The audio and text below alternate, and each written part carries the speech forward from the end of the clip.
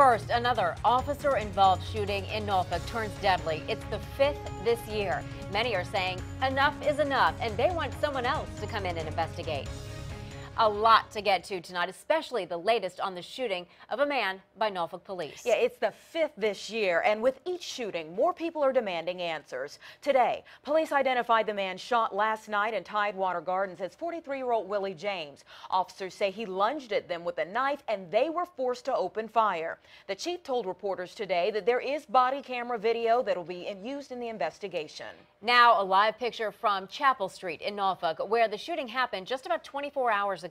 Right now, members of the community are getting ready to rally. They are demanding justice for people shot by officers. We have two reports tonight, beginning with Jason Marks and the latest on the investigation. He's live in the neighborhood right now. Jason?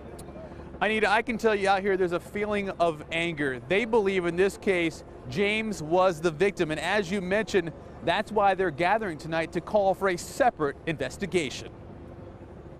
I'm going to stand behind my officers on this. Hours after Norfolk's fifth deadly police shooting this year, Chief Mike Goldsmith took the mic to explain what his officers were up against.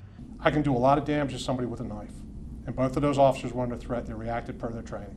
The chief says two officers shot and killed 43-year-old Willie James when he came at them holding this kitchen knife. Police say they went to his home to break up a fight. He died right there on the bottom of them steps. Bullet holes show the place where James took his last breath. Witnesses say he came down the stairs with his arms raised and was not holding a knife. Last night, it was really, really, I was in a state of shock, but I was hurt. I was confused. Robin Vaughn and James have a child together.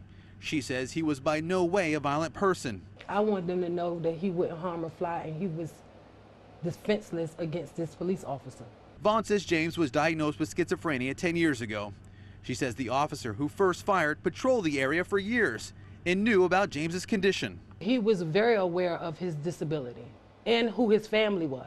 The chief tells 10 on your side no officer wants to fire a gun. Put yourself in that situation and see how you would feel with it.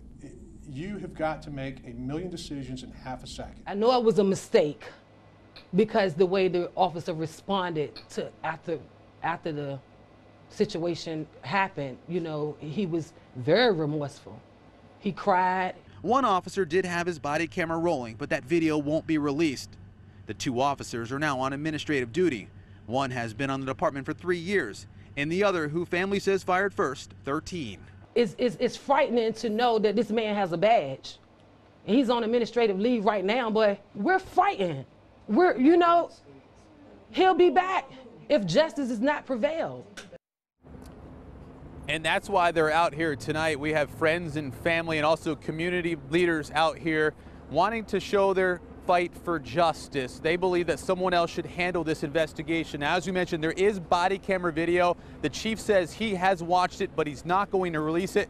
He did tell me it does back up the story of the officers.